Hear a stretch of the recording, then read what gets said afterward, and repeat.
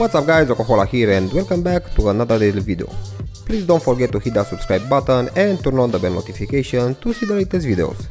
The LG G7 ThinQ is the LG's new Android phone, which is ironic because the rest of this phone has hard time standing out. It's shaping up to be a reasonable but not significant upgrade over the last year's LG G6. This new smartphone comes with a larger 6.1 inch all-screen display, AI-enhanced cameras, a loud boombox speaker, faster chipset and powered by the latest Android 8.0 Oreo.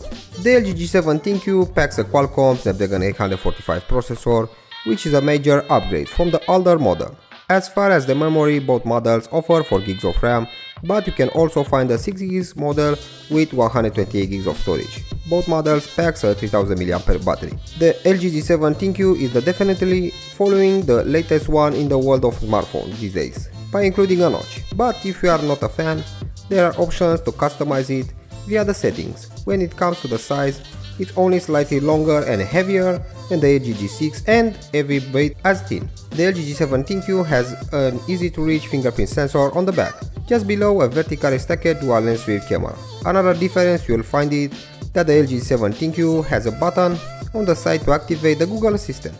If you long press it, you will activate its walkie-talkie feature, which keeps Assistant listening for as long as you are pressing the button.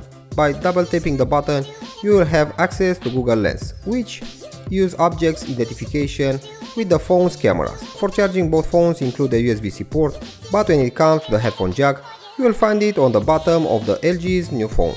The LG G7 ThinQ packs a 6.1 inch screen with 3120 by 1440 pixel resolution and comes with a super bright display, features that allows you to boost the screen up to 1000 nits for 3 minutes at a time during these days when super sunny outside. On the back we can find the dual lens camera, both rated at 60 megapixels along with an 8 megapixel front facing camera.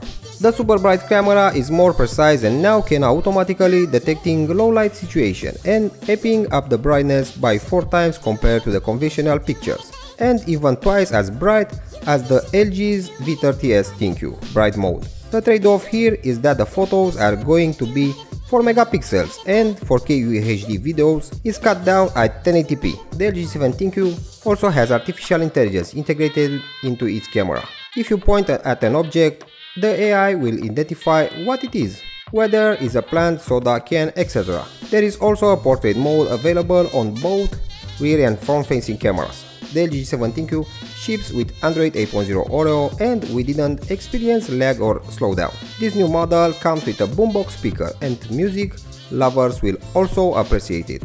How can a single button firing mono speaker produce boombox like sound?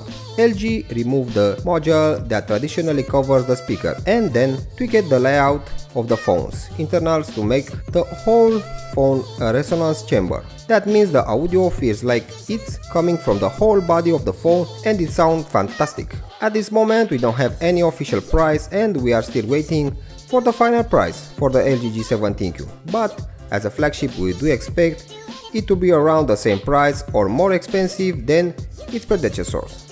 Okay guys, that is all for today. Thanks for watching. Please don't forget to subscribe and hit that bell notification button to see the latest videos. Well, till the next time, see you. Bye bye.